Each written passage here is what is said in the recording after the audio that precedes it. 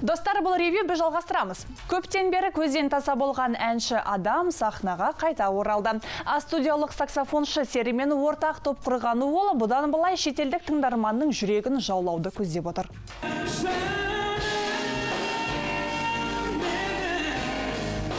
Шығармашылығы қайта жанданған адам жаным атты су жаңа әнінің тұсауын кесті. Өнерпаздың өзі ұзаққа созылған үнсіздігін даул алдындағы тыныштыққа балайды бұны камбэк деп санауға болады деп ойлаймын. Өйткені ә, енді көп, көп болды былай.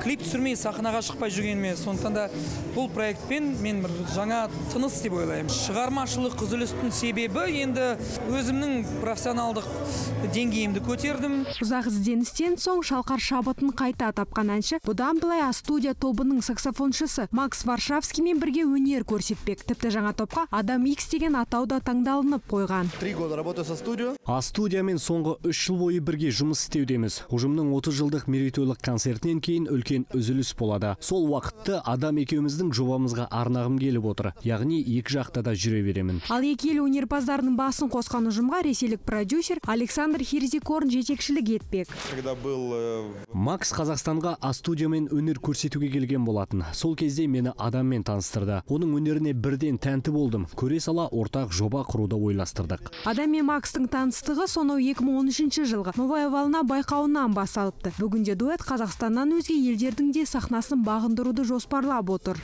Мақсаттарымыз көп. Өйткені жақында а, тағы бір а, үлкен жұлдызбен бір жаңа жаңа ән жазамыз. Ендеше жаңа топтан тың дүниелерді күтеміз.